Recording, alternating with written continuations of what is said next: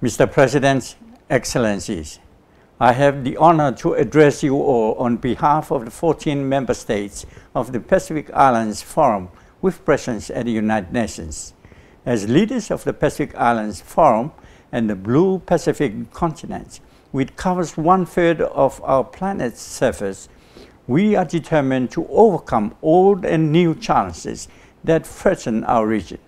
The COVID-19 pandemic presents an immediate and devastating threat to the Pacific and global community. We are deeply concerned about the rapidly worsening health, economic and social effects that COVID-19 has ha had across the globe. Our region is now faced with a three-pronged crisis. The impacts of COVID-19, the devastating effects of climate change and natural disasters, and fragile economic health of the region as a consequence of its inherent vulnerabilities. We remain mindful of the interlinkages between these crises and that recovery measures will need to be designed in consideration of the of an in strong response to the three-pronged crisis. Our leaders place the health and well-being of the Pacific peoples and ocean as our greatest priority. Recognizing that COVID-19 poses significant pressures on health systems around the world, our region took bold actions to restrict its spread to and within our region, enforcing unprecedented containment measures resulting in two-thirds of our member states.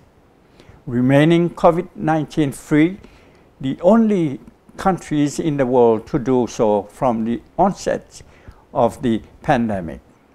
While our measures have saved countless lives, they se severely restricted our links to each other and the world, including the timely procurement and distribution of essential medical supplies that would support any consideration of reopening our Pacific borders.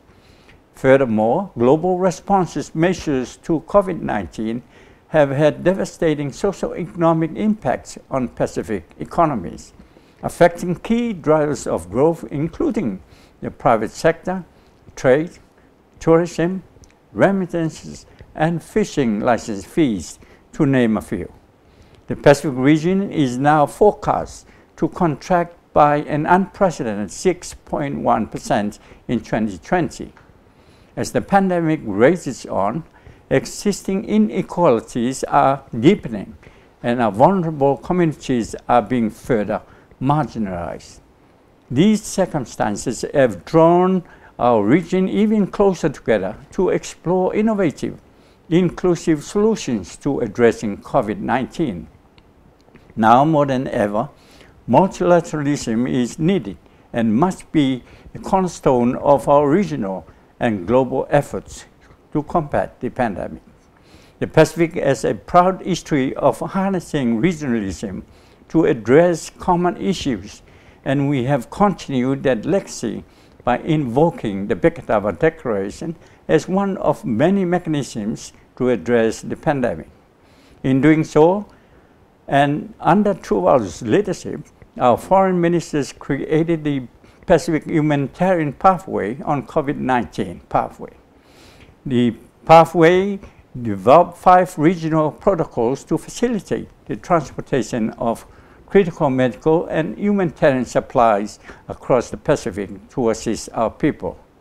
Our foreign and economic ministers maintain open dialogue, discussing and sharing approaches to addressing the harsh effects of the pandemic we recall and reaffirm their statements on COVID-19 and urge the United Nations and development partners to support identified issues and assist with recovery efforts across the Pacific through well-coordinated efforts aligned with national and regional priorities and plans. We further acknowledge the need to ensure that the region's collective efforts and resources for alleviating the impact of COVID-19 are targeted towards the most vulnerable, in particular women and girls and persons with disabilities. As we look towards our recovery, investment in our health infrastructure, infrastructure is of paramount importance to secure our peoples from ongoing and future health crises. Our peoples deserve the highest quality health care, which is also affordable, accessible, and available to all. We commended the efforts around the globe to develop safe and affordable treatments and vaccines for COVID-19. Our Pacific economies rely heavily on open borders for travel, trade, and business. Without treatment and a vaccine, which our people can trust to mitigate health concerns, devastating disruptions to our interdependent economies will continue unabated. The Pacific must have timely access to treatment and a vaccine that is safe, affordable, and has been subject to stringent regulatory approval. When it is developed, within that context, we urge global leaders to support the equitable and affordable distribution of safe COVID-19 treatments and vaccines to all peoples of the world.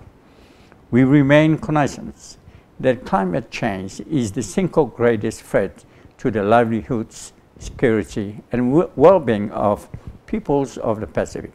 Accordingly, we will maintain our collective advocacy, efforts, and ambitions to combat climate change. Despite the deferral of COP26 to November 2021, we reaffirm the findings of the Intergovernmental Panel on Climate Change, that based on the current rates, global warming is likely to reach 1.5 degrees Celsius by as early as 2030, unless urgent action is taken by the international community to reduce greenhouse gas emissions and abate the climate change crisis. We demand stronger mitigation action to put us on a 1.5 degrees Celsius pathway, including investment in low emissions technologies. We recognize 2020 as a milestone year for the Paris Agreement and urge that COVID-19 should not derail the global momentum and ambitions required by all parties to deliver on their Paris Agreement commitments. We call on the international community to recommit and urgently accelerate climate change action now. As called for in the Pacific Islands Forum Kainaki 2 declarations, and to ensure that all development, financing, and programming for COVID-19 align with the goals of the Paris Agreements and the 2030 Agenda. For the members of the Pacific Islands Forum, the call to action is clear. We must come out of this pandemic more unified, safe, and resilient as one blue Pacific continent, and indeed as one blue planet. I thank you. Faaf